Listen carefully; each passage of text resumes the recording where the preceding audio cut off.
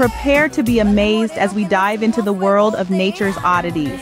Our journey takes us around the globe, introducing 10 of the strangest animals you won't believe actually exist.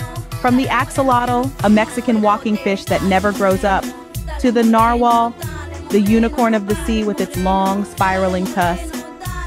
We'll marvel at the leafy sea dragon, a master of camouflage, and the aye-aye, a lemur with a freakishly long middle finger. Don't forget about the star-nosed mole, which uses its 22 tentacle-like appendages to feel its way around.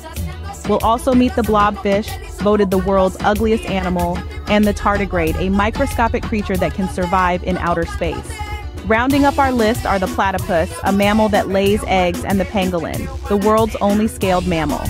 Each of these creatures is a testament to nature's creativity and adaptability. So buckle up and get ready to explore the animal kingdom's weirdest and most wonderful inhabitants.